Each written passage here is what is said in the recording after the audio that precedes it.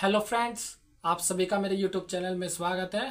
Friends आप देख रहे हैं सजाव क्लासेस चैनल को, जहाँ पाते मेडिसिन के बारे में संपूर्ण जानकारी। दोस्तों, आज की इस वीडियो में हम बात करने वाले हैं एक इम्पोर्टेंट कैप्सूल के बारे में, जिसे आप प्री एंड प्रोबायोटिक कैप्सूल के नाम से भी जानते हैं। और दोस्तों, ये जो कैप्सूल होते हैं, इनका ज़्यादातर यूज़ जो किया जाता है आंतों से जुड़ी समस्या को ठीक करने में यूज़ किया जाता है। यानी जब आपके आंतों में बैक्टीरियल इन्फेक्शन हो जाता है तो उसको खत्म करने के लिए दोस्तों इसका प्रयोग किया जाता है।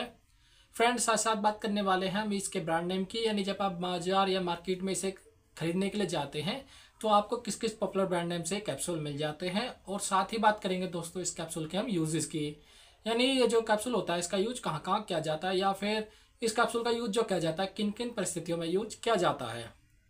फ्रेंड्स साथ साथ बात करेंगे हम इसके साइड इफ़ेक्ट की, यानी ये जो कैप्सूल होता है प्री एंड प्रोबायोटिक कैप्सूल जो होते हैं, इनके क्या क्या साइड इफ़ेक्ट पाए जाते हैं, वो क्या क्या होते हैं।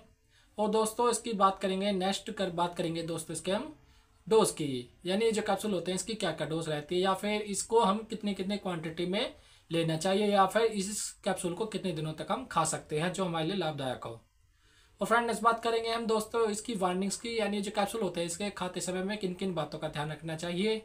फ्रेंड्स अगर आप मेरी यूट्यूब वीडियो को पहली बार देख रहे हैं तो मेरे चैनल को सब्सक्राइब कर लीजिएगा और साथ साथ बेल आइकन को प्रेस कर लीजिएगा, जिससे मेरी नई वीडियो की नोटिफिकेशन सबसे पहले आपको मिल सके। आइए जानते हैं फ्रेंड्स इस कैप्सूल के बारे में कुछ नई बातें।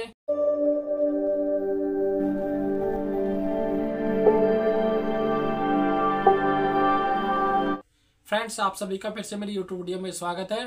फ्रेंड्स अब बात करने वाले हैं इस कैप्सूल के बारे में, यानी जो प्री एंड प्रोबायोटिक कैप्सूल होते हैं, वो क्या होते हैं? दोस्तों, इन कैप्सूलों का यूज़ जो किया जाता है, ज़्यादातर पेट से जुड़ी समस्या को ठीक करने में यूज़ किया जाता है। यानी जब आपके पेट में कोई बैक्टीरियल इन्फेक्शन हो जाता है या फिर कोई भी दिक्कत आती है तो उसको ठीक करने के लिए दोस्तों, इस कैप्सूल का बहुत ज़्यादा प्रयोग किया जाता है। अगर फ्रेंड्स इसके हम ब्रांड नेम की बात करी जाए, यानी जब आप बाज़ार में मार्केट में इसे खरीदने के लिए जाते हैं तो आपको किस किस पॉपुलर ब्रांड नेम से मिल जाते हैं? जैसे आपको बिफिलैक के नाम से मिल जाते हैं, या फिर योगट के नाम से मिल जाते हैं, या फिर आपको विजिलैक के नाम से मिल जाते हैं, या फिर वी बैक्ट के नाम से भी आपको आसानी से मिल जाते हैं, लेकिन इनके अंदर जो फॉर्मुलेशन रहती है वो सेम ही रहती है। इससे आप बिल्कुल ना घबराएँ, ये जो रहते हैं डॉक्टर के चॉइस के अकॉर्डिंग हर एरिया में अलग अलग रहते हैं। फ्रेंड्स अगर इसके यूज़ की बात करी जाए, यानी जो कैप्सूल होता है, इसका यूज़ कहाँ कहाँ किया जाता है? दोस्तों, इस कैप्सूल का यूज़ जो किया जाता है, सबसे पहले इरिटेबल बाउल सिंड्रोम में भी इसका यूज़ किया जाता है।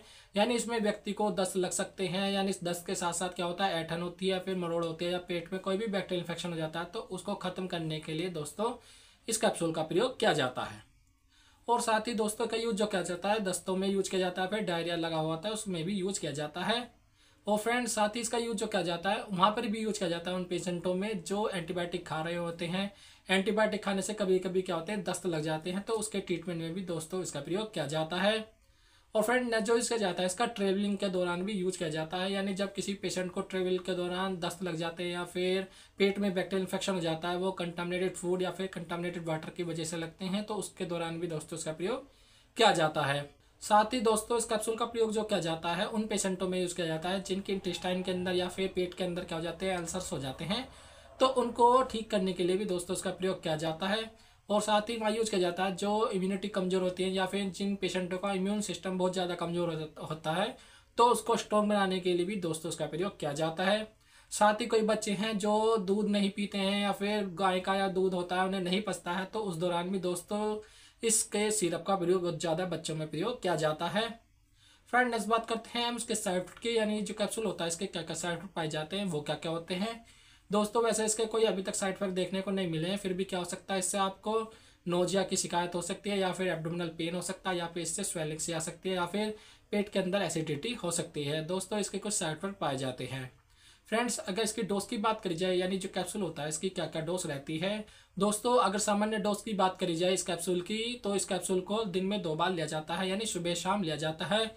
और दोस्तों, इसको खाना खाने के बाद लिया अच्छा माना जाता है। जब आप इसे खाना खाने के बाद लेते तो इसका अच्छा रिज़ल्ट मिलता है। दोस्तों, इसको आप तीन दिन भी ले सकते हैं, पाँच दिन भी ले सकते हैं उसको सात दिन तक भी लिया जा सकता है, जिससे अच्छा रिज़ल्ट मिलता है। फ्रेंड नेक्स्ट बात करते हैं हम इसकी वार्निंग्स की, यानी ये जो कैप्सूल होता है इसे खाते समय किन किन बातों का ध्यान रखना चाहिए। यदि कोई बच्चे हैं जो तीन साल से छोटे होते हैं तो इसमें ये कैप्सूल यूज़ नहीं करना चाहिए। साथ ही कोई मरीज़ हैं जिन्हें एचआईवी होता है या फिर एड्स से ग्रसित लोग होते हैं तो भी इस कैप्सूल को वहाँ भी प्रयोग नहीं करना चाहिए। साथ ही कोई महिलाएँ जो ब्रेस्ट फीडिंग मदर्स होती हैं या फिर प्रेगनेंसी के अंदर होती है तो भी इस मेडिसिन को वहाँ भी प्रयोग नहीं करना चाहिए। साथ ही कोई व्यक्ति है जो एंटीबायोटिक खा रहे होते हैं तो उनके साथ इस मेडिसिन को कभी यूज़ ना करें, या फिर अगर यूज़ भी करें तो उससे पहले या फिर बाद में इस कैप्सूल को यूज़ करें। दोस्तों, ये थी कंप्लीट इन्फॉर्मेशन इस कैप्सूल के बारे में। अगर फ्रेंड्स अगर आपको मेरी यूट्यूब वीडियो पसंद आई हो तो लाइक कीजिएगा कमेंट कीजिएगा और शेयर कीजिएगा। और अपने दोस्तों में ज़्यादा ज़्यादा शेयर कीजिएगा, जिससे वीडियो किसी और के भी काम आ सके। फ्रेंड्स अगर आपने अभी तक मेरा यूट्यूब चैनल सब्सक्राइब नहीं किया है तो मेरे चैनल को सब्सक्राइब कर लीजिएगा और साथ साथ बेल आइकन को प्रेस कर लीजिएगा। जिससे मेरे नए वीडियो की नोटिफिकेशन सबसे पहले आपको मिल सके।